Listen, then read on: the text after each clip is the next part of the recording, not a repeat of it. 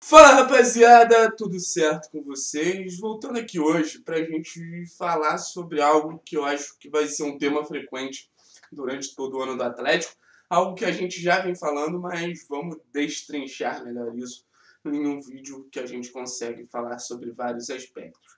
E quando o Atlético escolhe aceitar a vinda de Marquinhos Gabriel, de Giovanni e de Carlos Eduardo, esses três nomes principalmente, eu acho que o Fernando Canezinho poderia se encaixar nessa situação, mas eu acho por outros argumentos e o Walter a mesma coisa. Acho que nesses dois casos existem muitas particularidades, mas especificamente falando de Giovanni, Carlos Eduardo e Marquinhos Gabriel, a gente começa a se fazer perguntas. Por que o Atlético escolheu aceitar a vinda desses jogadores que estavam muito em baixa, estavam mal nos seus clubes? Mas aí a gente começa a se fazer as seguintes perguntas. A primeira de todas, eles realmente estavam mal? Eu acho que o futebol brasileiro tem uma mania muito feia de esperar um retorno imediato de um jogador sem entender o que o clube oferece para o jogador. Então, Marquinhos, o Carlos Eduardo e o Giovanni estavam em clubes que existia uma expectativa muito grande, clubes que ganharam títulos recentemente e esperavam que todos os reforços que chegassem já dessem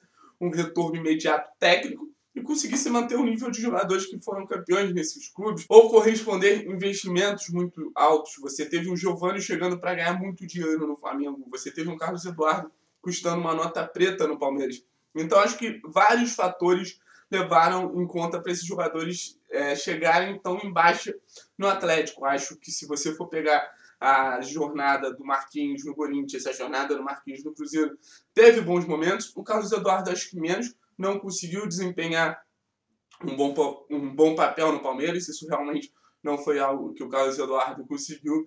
E o Giovanni, em Galo e Flamengo, chegou em contextos muito difíceis para ele. Um Flamengo que precisava ganhar títulos investindo, investindo, investindo, contratando sem parar, sem muita paciência, sem entender os jogadores que estavam chegando. E um Atlético Mineiro que fez uma reta final de temporada muito ruim e ele chegou nesse momento. Então é muito difícil para esses jogadores eles conseguirem render em ambientes tão complicados, em ambientes tão difíceis. Então, por isso que eu começo a questionar. Essa má fase aconteceu, isso é um fato. Os jogadores não renderam o que já renderam em algum momento. Mas por que essa má fase aconteceu? Óbvio que tem responsabilidade deles, não é uma responsabilidade só do entorno, mas eu acho que é para a gente levar em consideração a falta de paciência dos clubes, a expectativa muito grande dos clubes, o momento dos clubes, a questão tática que esses jogadores foram inseridos. Você teve um Giovanni chegando para ser o ponta esquerda que faltava para o Flamengo, sendo que ele nunca jogou por ali, ou jogou pouquíssimo no seu melhor momento no Santos.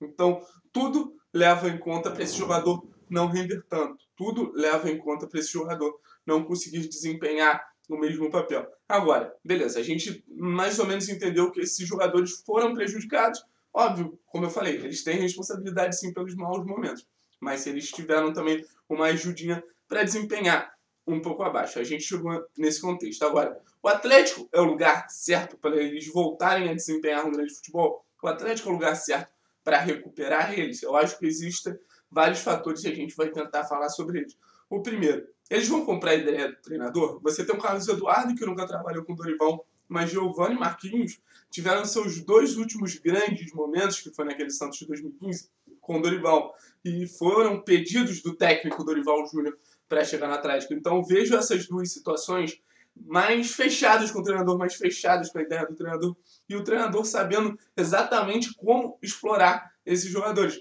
Vai dar certo igual deu no Santos de 2015, campeão paulista, vice da Copa do Brasil? A gente não sabe.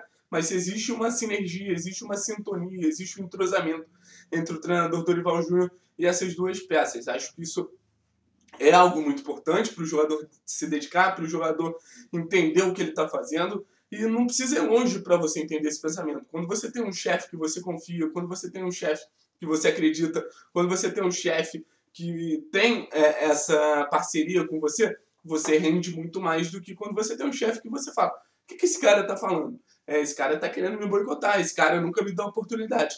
Então acho que essa questão da relação com o treinador, pelo menos de Giovanni e Marquinhos Gabriel, já facilita. Agora a questão tática: o esquema do Atlético é capaz de aceitar esses jogadores? Você tinha um Giovanni é, jogando como um ponta muito agudo, mais criativo, o Marquinhos Gabriel sendo um construtor pelo lado e o Carlos Eduardo um jogador de velocidade, de aceleração o tempo inteiro. O Atlético joga com os pontos nessas características. Você tem na direita o Nicão a todo momento vindo para o meio, criar, sendo esse ponta construtor, finalizando de fora da área. Eu acho que a concorrência com o Marquinhos e com o Giovanni vai ser até saudável para o Nicão se consolidar como referência. O Nicão é um dos jogadores que está mais tempo no clube, é um jogador que a torcida gosta muito, é um jogador que já permaneceu depois de muitas tentativas de outros clubes tirarem o Nicão. Acho que não vai dar brecha para essa briga de titular. Acho que o Nicão é o principal jogador do sistema ofensivo do Atlético. A questão é, você vai ter gente ali para recompor a saída do Nicão, para fazer uma parceria com o Nicão em algumas circunstâncias. Então vejo o Giovanni e Marquinhos bem parecidos com o Nicão. E você tinha um Rony no lado esquerdo, que o Carlos Eduardo, nesse primeiro momento, assumiu essa vaga. E realmente existe uma semelhança muito grande entre o Rony e o Carlos Eduardo. São jogadores de aceleração, são jogadores de velocidade. A questão é, eu acho que o Rony tinha mais mais borogodó, mais talento, mais um contra um, mais possibilidades de decidir que o Carlos Eduardo. Mas em questão tática, em questão de posição, eu acho que eles não vão ter muito o que reclamar. Marquinhos Gabriel, que chegou a fazer até falso 9 no Corinthians, o Giovanni também atuando no, no lado oposto, onde ele mais rendia. Então acho que essa questão tática também não vai ser um ponto forte para reclamar. Eles podem não render com outras questões, mas como o Atlético joga com esses três jogadores no meio campo e esses dois jogadores abertos, eu acho que faz muito sentido esses três nomes atuarem abertos. Marquinhos e o Giovanni pelo lado direito e o Carlos Eduardo pelo lado esquerdo. Aí o Carlos Eduardo vai ter concorrência de Já Reinaldo, enfim, outros nomes que já estão no elenco, mas vejo é, Giovanni e Marquinhos por um lado, Carlos Eduardo pelo outro. A gente já falou da questão tática, a gente já falou da questão de acreditar no treinador, da relação com o treinador. Agora vamos falar sobre o elenco, questão de elenco. O elenco do Atlético, você tem líderes claros ali, Jonathan, Thiago, Lúcio, que mostram que o elenco do Atlético é muito receptivo. E vendo os bastidores, a gente já viu um entrosamento grande do Marquinhos, a gente já viu um entrosamento grande do Carlos Eduardo, de outros jogadores que chegaram, pareciam estar bem integrados no elenco. Então acho que a questão de ter dificuldade para se entrosar, em questão de bastidores, em questão de ambiente. Acho que esses jogadores também não vão ter uma grande dificuldade. Acho que alguns já estão muito inseridos no ambiente, resenhando, conversando, brincando, que vocês acham que isso não faz diferença, mas um ambiente bom é muito relevante para títulos, para grandes momentos.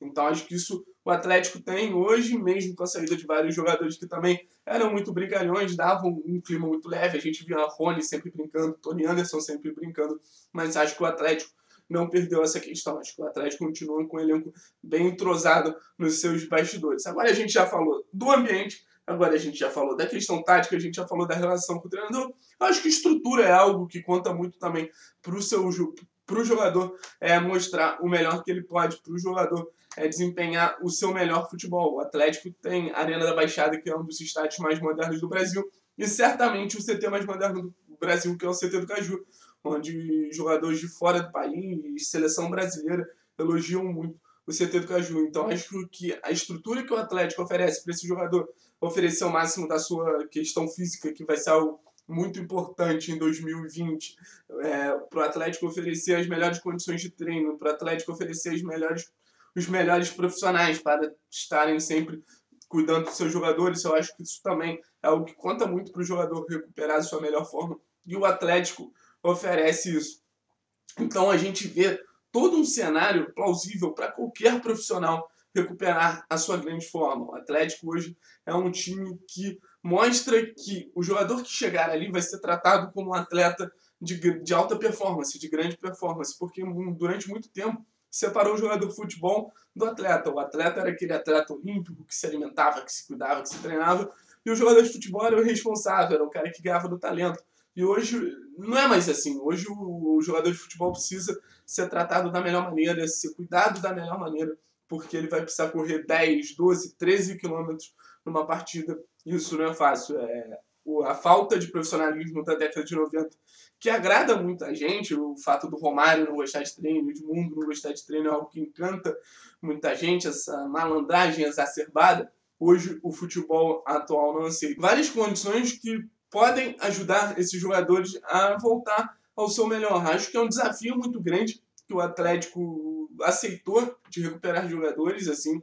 Acho que são jogadores que vão precisar se doar o máximo. Não só depende do Atlético, não depende só do clube, mas acho que você tem ferramentas, você tem situações, você tem é, um cenário muito plausível para esses jogadores, pelo menos, estarem voando fisicamente. Voando tecnicamente depende de mais coisa, depende de entrosamento com o grupo, depende de como o Dorival vai montar a equipe. Mas acho que a relação com o treinador e tudo que o clube pode oferecer, isso acontece. Eles ainda são beneficiados pelo momento de remontagem do Atlético. Eles não vão ter que disputar com jogadores é, muitos jogadores consolidados. Você tem o Nicão ali, você tem o Citadini, mas se você pensar, se esses jogadores chegassem ano passado, dificilmente eles jogariam. Se um Giovanni chegasse no Flamengo hoje, dificilmente ele jogaria. Se o Marquinhos Gabriel, em alguns momentos, demorou a jogar porque o Cruzeiro tinha um elenco muito estabilizado. Então esses jogadores ainda têm o benefício de estarem no elenco em reformulação, no elenco que vai testar vai dar sequência, vai ver se esse jogador rende nessa posição. Ah, não rendeu nessa, vamos testar nessa. Porque tá na fase do experimento, tá na fase de é, erro e acerto, tá na fase de tentar, tá na fase de, enfim, começar a construir um Atlético forte para os próximos anos, mas isso passa muito pela consolidação desses jogadores. Eu tenho a impressão que o Atlético de 2020 vai ser, cara, eu vou dar chance para esses atletas aqui, sejam os mais jovens, sejam os jogadores nos status aqui de tentar se recuperar, e quem se consolidar vai se mantendo para os próximos anos. Quem não conseguir dar um retorno vai indo embora. Mas acho que é, se a gente fizer a pergunta, o Atlético é um clube plausível para esses jogadores se recuperarem? Eu dei vários argumentos que mostram que o Atlético é um clube para qualquer jogador do futebol brasileiro conseguir dar um retorno técnico, um retorno físico, estar bem é, condicionado para fazer uma grande temporada. Beleza, rapaziada? Tamo junto, é nóis.